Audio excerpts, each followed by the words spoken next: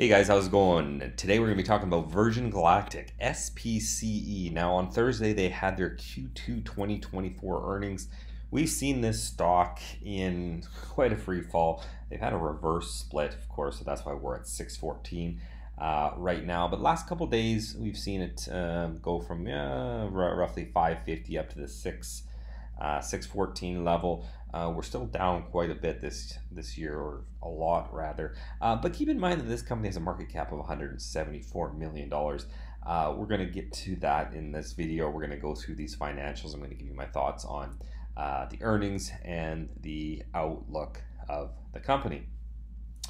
Now, this is uh, last four quarters. I also compared it over on a year-over-year basis. I think this is the reason that we're seeing the stock uh, go up a little bit. For this Q2 of 2024 here, we had about 4.2 uh, million dollars in revenue here. Uh, on a year-over-year basis, um, we're looking up about 125%. So pretty good increase there. I mean, we knew that that was going to happen.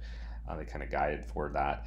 Um, and of, of, course, for the last four quarters, that dwarfs everybody, every, all the other ones as well.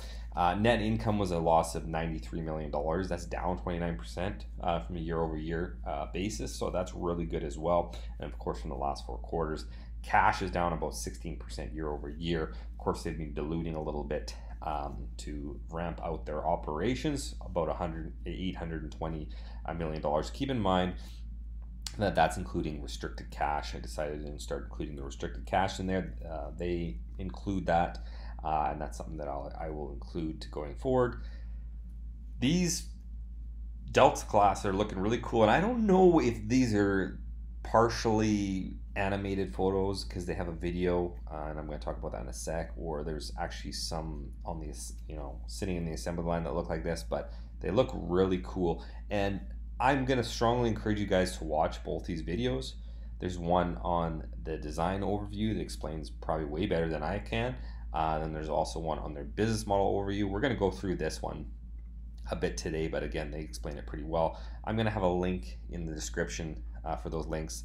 If you're watching this video, definitely I think it's worth it to watch both these videos. I'm not going to show them on this video, um, but click a link in the description and uh, watch those for sure.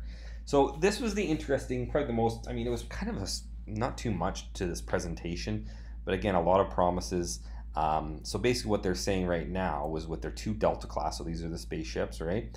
Uh, and then the one mothership, they're saying about uh, 125 space flights a year. They're saying that these ones can have a turnaround rate of about three days.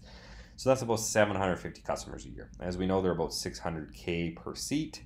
Uh, so that would give them about $450 million in revenue just from basically one spaceport uh, with two Delta class.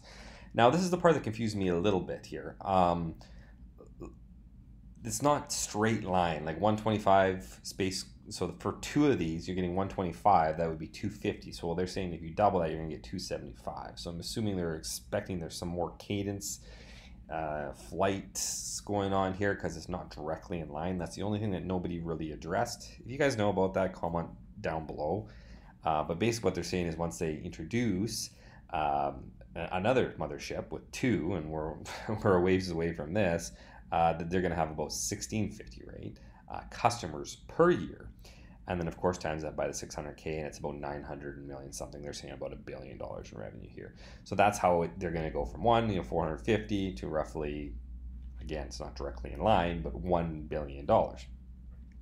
And in this next slide they go into a little bit more and this is where you could generally be kind of looking at potentially looking at potentially what the stock price is um, value at. So there's going to say one spaceport here uh, this remains to be seen. You can have one scenario where you're going to have two spaceships, one mothership, and the other one was where you're going to have four, like we mentioned above here, right? Four and two. So, like I said, they said a billion dollars is about 990 million dollars. Uh, in this case, the first case is 450 million. Uh, and then they're they're giving us their contribution margin, which is not including fixed costs, because they're generally saying that these fixed costs are pretty fixed, of course, right? Uh, so that's your additional, basically, revenue per each unit, excluding uh, your fixed cost. Um, so in both these cases, they're saying they're giving adjusted EBITDA. They're looking at like say we go on the top end here, 115 million dollars a year uh, with uh, two spaceships. This first scenario here, right? Um, and then with uh, the four spaceships and two motherships, where like, we could be up to like half a billion dollars a year. It's this next phase here when they get a second space, but we'll talk about when they're going to be doing that. Uh, there was some questions on the conference call about that. Uh, that we're looking at maybe annualized revenues about like getting close to like 2 billion 1.9 uh, billion dollars and then taking an adjusted ebitda of say you know a billion dollars a year something like that but that's in the case when we have eight spaceships and four motherships and then they talk quite a bit about just expanding different areas in the world i believe there's one in europe was kind of the example that they gave um, but that's a ways out but it's when we're, we're going from this situation into this, you know, one spaceport kind of maxed out into two spaceports, that's when we could be seeing potentially, like this is all very dependent on what they can provide. You know, you could see a 10x, a 20x in the stock there if these numbers are actually uh, accurate. Um, so I think that's one of the reasons that the stock's been going up. That's not going to bring us back to where we were, you know, five years ago, four years ago, or whatever. But in these types of situations, when you're pulling in, you know, you know, two billion dollars a year, I could see uh, the market cap definitely significantly increase. Uh, they didn't talk much about these. They always give examples uh, of these, the tooling examples that they have. Um, but if you want to see more of this, like I said, watch the video. Um, I'll just show you the pictures here. This was kind of cool. They didn't talk about this, but it's it's actually nice to see this stuff come to fruition. The Delta finally assembly Delta Final Assembly uh, facility. It's a huge facility. Uh, nice picture there. It looks like maybe it was maybe a drone that took that. Yeah, probably. Um, so yeah, interesting there as well. Going through the results here, this is pretty much what we've talked about already. For the second quarter of 2024, revenue is about $4 million versus $2 million in the prior year. These are very uh, approximate, uh, driven by commercial spaceflight and membership fees. Uh, total operating expenses were down. They were 106 million versus compared to 141 million dollars uh, a year ago. Uh, Spaceline operation expenses were 27 million. R&D expenses 42. SG and A were 34 million. Of course, they've reclassed a lot of these. We've talked about this over and over again. Uh, so that's something to keep in mind. Net loss of 94 million dollars, like I said, compared to 134 million dollars prior year period, which is good when they're ramping up. They cut some of their costs uh, that I saw. I'm not going to go through their actual financial statements because there wasn't much that was uh, that interesting, uh, but there has been some cut uh, cut cost. Adjusted EBITDA of uh, negative 79 million compared to negative 116 million for uh, the prior year, and free cash flow is a loss of 114 million compared to 135 million. That's kind of to be expected. Um, and then they did do some more dilution, raised $64 million in gross proceeds. Well, with a startup startup company like this, it's kind of something you have to do, right? Uh, so that sounds like it potentially is going to come near the end for now, though. Uh, so the cash flow and balance sheet uh, for Q2, like I said, it was 114 million dollars in the red. Uh, the guidance for next quarter, we're looking at about 115 million uh, to 125 million in the red as well. Cash, like I said, has dropped a little bit, 821 million dollars. They have their little note here. At least they say that 33 million dollars in restricted cash. Uh, same, uh, which is of course the same as last year as well, 980 million dollars. So it dropped a little bit.